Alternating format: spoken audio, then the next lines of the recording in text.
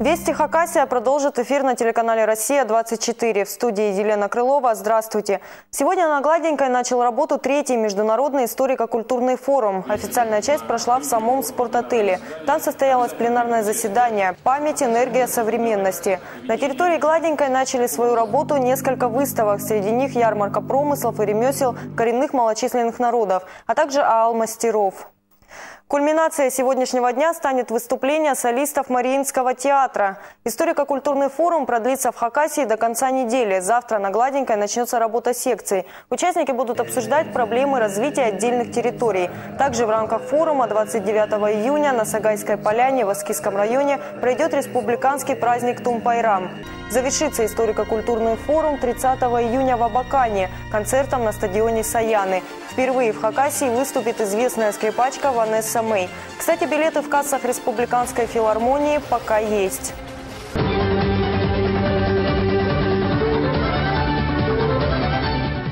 Другим темам. В южных и центральных областях России регистрируются вспышки энтеровирусной инфекции, опасной своими осложнениями, в основном у детей. В Хакасии, к счастью, в этом году таких случаев не обнаружено. И чтобы не допустить вспышки, необходимо соблюдать определенные меры профилактики. Тему продолжит Виктор Лушников. Санитарные врачи отмечают, что ситуация с заболеваниями острыми кишечными инфекциями в республике пока на уровне средних многолетних значений. К примеру, в июне зарегистрировано 260 случаев. Среди них рота и норовирусной инфекции у детей, отмечены единичные случаи дизентерии. На первом месте сальмонеллез – 28 случаев, большинство в Бакане. Причиной болезни стали мясо домашней птицы и яйца, недостаточно прожаренные. Грозной энтеровирусной инфекции в Хакасии в этом году пока не выявлено, хотя, напомним, раньше случаи регистрировались, и пять лет назад от ее последствий в Бакане умерли два малыша. Врачи напоминают о первых признаках болезни.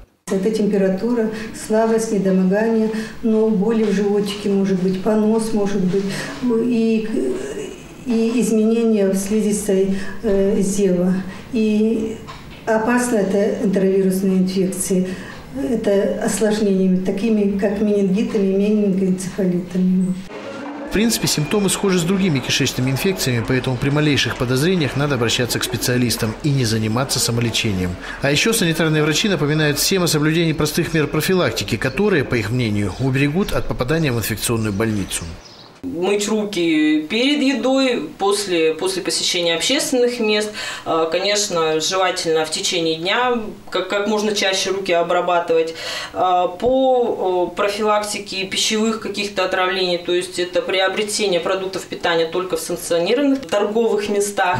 А, ни в коем случае не приобретайте продукцию участников, э, скоропорчущую, такую как молочные продукты, которые ну, достаточно опасны сейчас. Э, тщательно обрабатывать обрабатывайте овощи, фрукты. Никаких особых мер предосторожности по поводу энтеровирусной инфекции медики пока не предпринимают. Из Москвы таких распоряжений не поступало. А населению врачи советуют еще не пить сырой воды и обязательно хорошо прожаривать и проваривать яйца, рыбу и мясо. Виктор Лушников, Антон Михайлов, Вести Хакасия.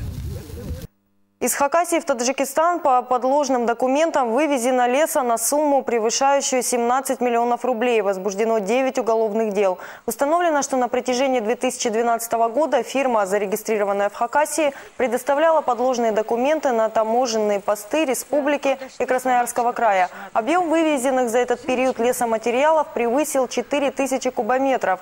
Максимальное наказание за это преступление – лишение свободы на срок до 7 лет переместить подстанцию. Алексей Гончаренко, Антон Михайлов, Вести, Хакасия. Еще одно футбольное поле с искусственным покрытием появилось в Хакасии, на этот раз в Черемушках. Стадион «Горизонт» стал первым профессиональным футбольным полем в поселке.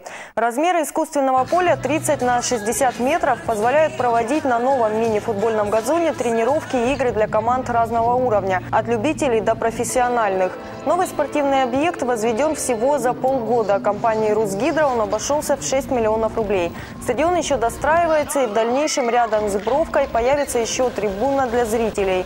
Но уже сейчас на газоне можно проводить соревнования и городского, и республиканского уровня. Подобные такие поля, на мой взгляд, и вообще-то, как если мы цивилизованное общество, цивилизованный город красивый, должны находиться как минимум в каждом микрорайоне города. Вот. А то, что это очень даже позитивное явление скажет на развитие не только футбола, а вообще на развитие спорта нашего муниципального образования. Вернемся к теме третьего международного форума по историко-культурному наследию. В Хакасию впервые прибыли творческие коллективы из Еврейской автономной области. Артисты с Дальнего Востока выступили на сцене театра имени Лермонтова в Абакане. Наталья Гармашова с подробностями. Мы будем иметь возможность насладиться вот тем этническим искусством, которое, может быть, некоторые и не видели. Поэтому я всех вас поздравляю с тем, что мы имеем такую возможность и призываю дальше крепить дружбу между народами. На одной сцене первые лица Хакасии – представители правительства Еврейской автономной области. Эта встреча войдет в историю нашей республики. Ведь гости из дальневосточного субъекта представят на хакасской земле еврейскую культуру впервые.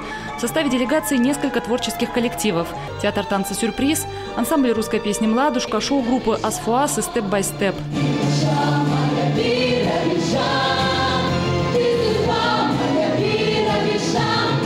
Все творческие коллективы любительские, но уже удостоены титула образцовых. За плечами певцов и танцоров немало международных конкурсов. С каждого артисты привезли награды.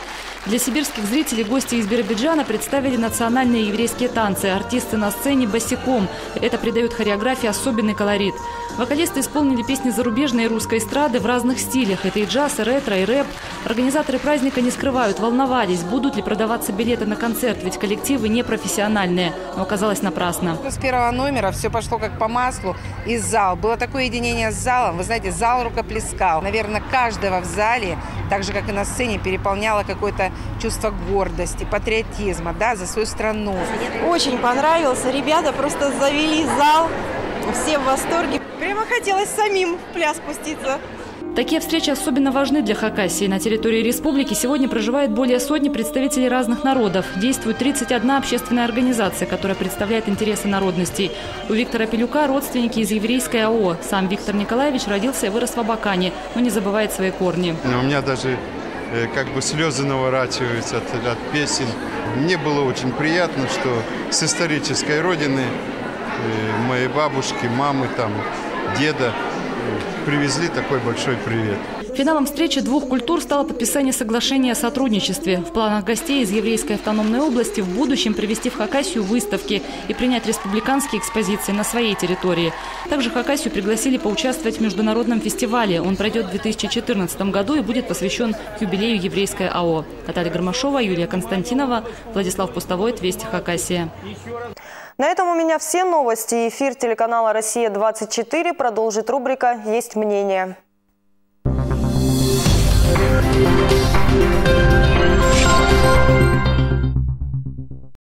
Практически эта амнистия поставит черту под старым уголовным кодексом, который, я вспоминайте, раньше наказывали за спекуляцию, а сегодня это называется успешная торговля и торговая надбавка. Вот как раз экономическая амнистия, которую огласил Владимир Владимирович Путин, она как раз ставит водораздел между э, движением вперед, чтобы это за спекуляцию, как это раньше, не садили, а что это обычная рыночная деятельность. В то же время те, кто нанес ущерб личный кому-то, тот, кто обидел или, допустим, захват организации, как рейдерские и так далее, вот эти, э, скажем так, э, уголовные, ответственные, как бы сказать, криминальные элементы под эту амнистию не подпадут. И в Хакасии происходило неоднократно то же самое, когда э, наших предпринимателей наказывали абсолютно по надуманным, по сути дела, натянутым статьям.